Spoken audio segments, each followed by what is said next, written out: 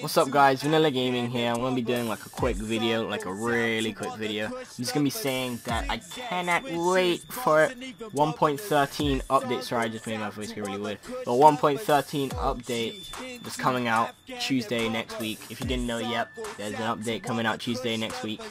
The 13th of May, I think. Correct me if I'm wrong, but yeah. I'm pretty sure Tuesday next week is 13th of May. But just commenting below what you think you would like to see in the in the update.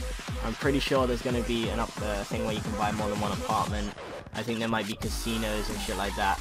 But just commenting below what you really are hoping for in the new update. So, yeah.